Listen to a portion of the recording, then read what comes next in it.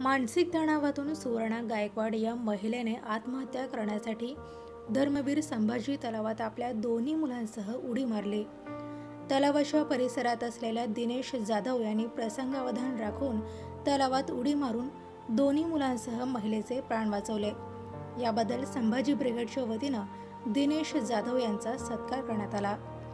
सुवर्णा जाधव या विजापूर नाका येथील महालक्ष्मी नगरमध्ये राहायला आहेत.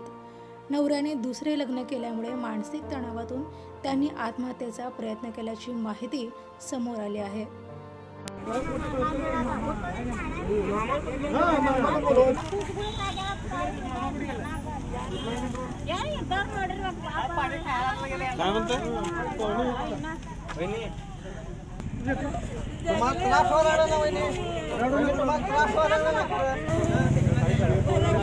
सांगितलं या मामाला पण घेऊन जा, त्याला कोण सांगितलं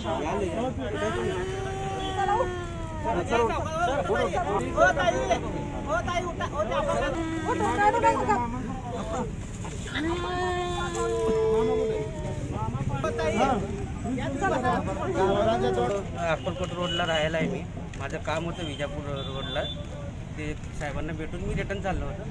ते गाळ काढायला ते कसं काढायला तिथून थांबवून थांबलो. असं येऊन थांबलो आणि ती रिक्षातनं उतरली.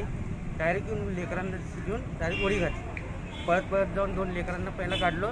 मग तिला हात धरून ओढून बाहेर गेलो. मग नंतर मग अजून उडी पळ उठून पळत पळत चालले.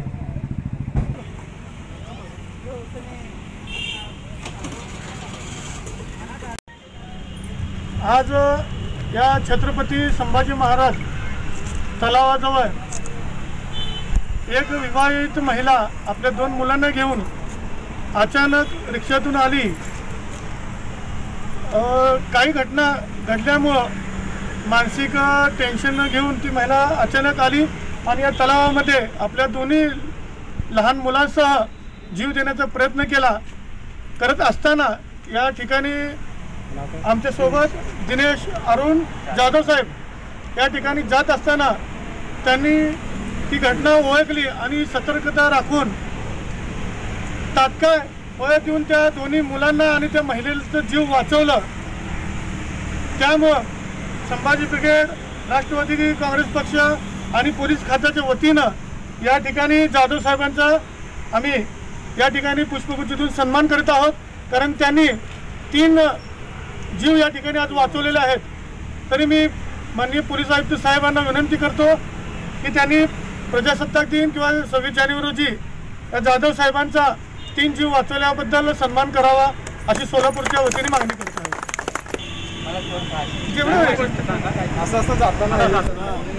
माझं काम होतं विजापूर रोडला. मी जाता जाता सहजच काम झाल्यानंतर येऊन थांबलो.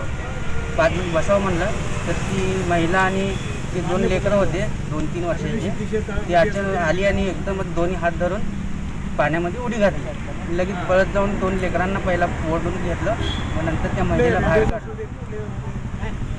थँक्यू.